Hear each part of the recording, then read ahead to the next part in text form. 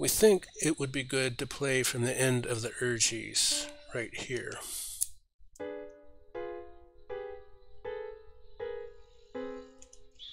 Alrighty. Ladies and gentlemen, this is a recap of Composing in Full Media Part 48C2552. In today's episode, we decided to dive into the C2552 scale and all of the extended chords. We did quite a bit of review, reminding ourselves what are the extended chords anyway? The extended chords are these chords highlighted in yellow. The C, 1, 2, 1, 3, 1, 5, any chord that skips one half tone and then skips two and so forth. And we're used to working with all these other chords like a major 4-3 and a minor 3-4 and a diminished 3-3. And we even have been regularly working in the series with 1-1 and 2-2. What we have been doing lately, especially in the 3443R, was working with the, these extended chords here.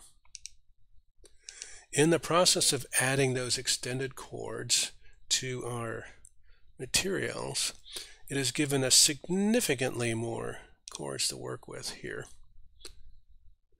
56 chords now for C2552. How did we get there?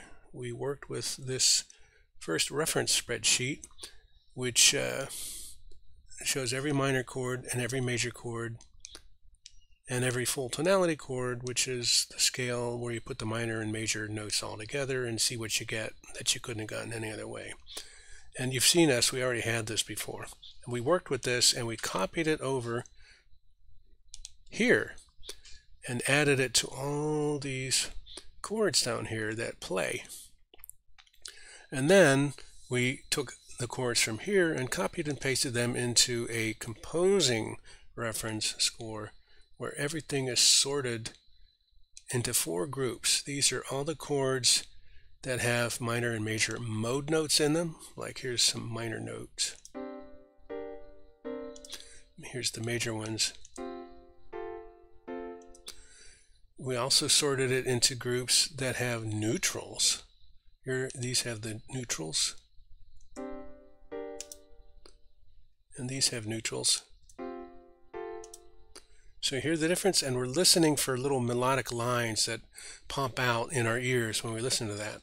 These are the chords sorted uh, that have urge notes in them, like this, and this.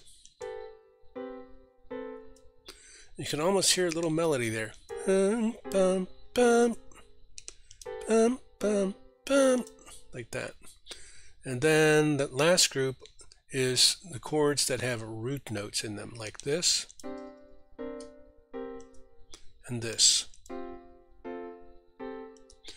And the fun thing is, because we're using a full tonality scale, we also have this hated earworm. Well, that's not the hated earworm. That one, actually, that one we liked. And you can see that everything is sorted by tonic, dominant, ambivalent, subdominant, and so forth and so on.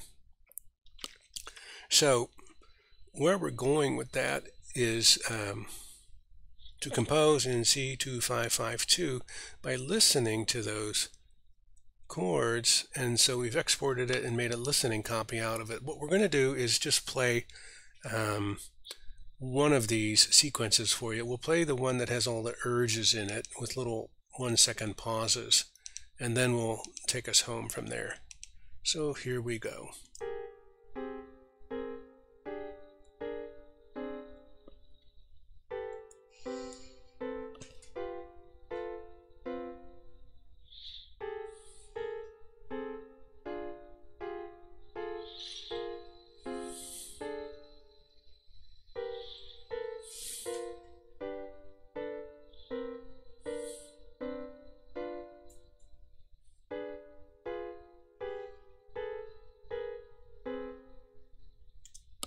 And we just highlight that again, there are 56 total chords in this C2552 tonality when you include all the extended chords. In other words, everything that's on this chart, all 19 types of chords, when you put them and go through them like that.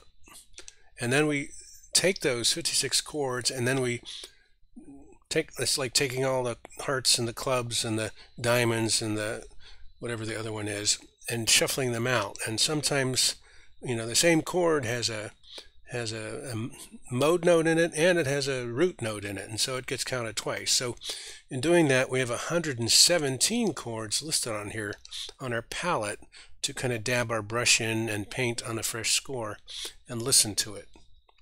So that's where we're going with that so this concludes today's stream and our ideas for next time are pretty simple. Continue the dive into C2552 and begin our trial cadences. So thank you, as always, for your time and attention. We look forward to seeing you in the next episode. And as always, keep on streaming.